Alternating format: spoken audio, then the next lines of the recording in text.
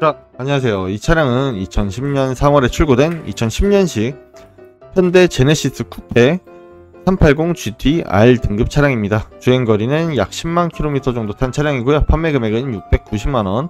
사고 유무 먼저 확인시켜 드릴게요. 2010년 3월 31일 출고 2010년식 오토미션 주행거리는 10만 951km 단순 수리 있음 사고 없음 보시면 본넷, 라디에이터 support 양 휀다가 교환이 됐고요. 이 부품들은 이제 다 외부에 있는 부품들이고 탈부착이 가능한 부품이기 때문에 단순 교환 무사고로 판정이 나는 거고요. 안에 골격이나 먹은 사고라든지 그런 큰 사고는 전혀 없었던 차량입니다. 차에는 전혀 이상이 없을 거예요. 자, 원동기 변속기 양호하고 오일 누유 없고 냉각수 누수 없고 미션도 다 멀쩡하고요. 다른 부분도 특이사항은 전혀 없네요. 성능 기록부 상으로는 누유도 전혀 없고 오일 양호한 단순 교환만 있는 무사고 차량입니다. 사진도 한번 보여드릴게요. 전면 측면 사진, 후면 사진, 후방 센서 장착이 되어 있고요. 전면 사진, 후면 사진.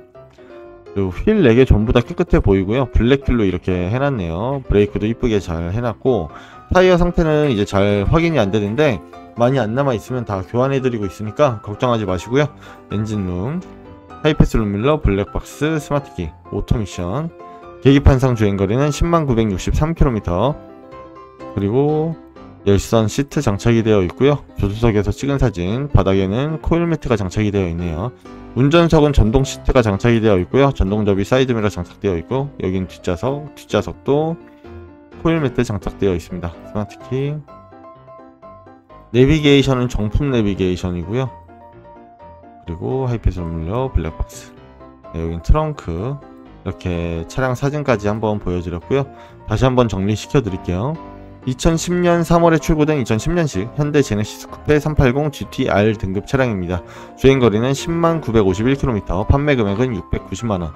누유나 이런 특이사항 전혀 없고요. 단순 교환은 있지만 무사고 차량이 맞습니다. 관심 있으신 분은 저한테 꼭 전화 주십시오. 감사합니다